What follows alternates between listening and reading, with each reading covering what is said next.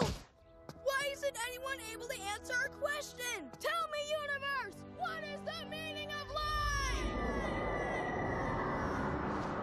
You guys, quick. I think someone's in need of a cosmic answer. Let's explain the meaning of his pitiful existence to him in the form of a feel-good song. A one, two, three. When you think you've got a problem and your life is full of doubt, remember in the scheme of things your life just doesn't count. To you a leaf may seem quite small, but to an ant it's ten feet tall. It's hard to be objective, so we'll offer some perspective. You think there's nothing greater than the planet you call Earth, but Earth can seem quite skinny next to Neptune's mighty girth. Relax.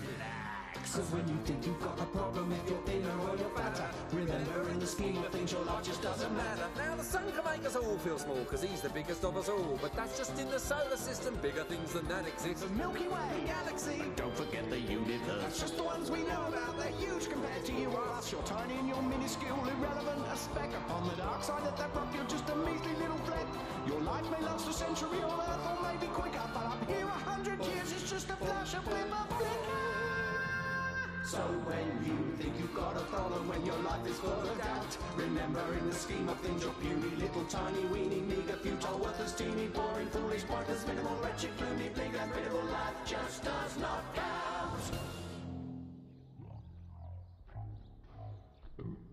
Huh? What's that all about? Don't know, but the joke's on them. By the time they finish their smug little song, the sun will have collapsed under its own mass and exploded, so. Life just does not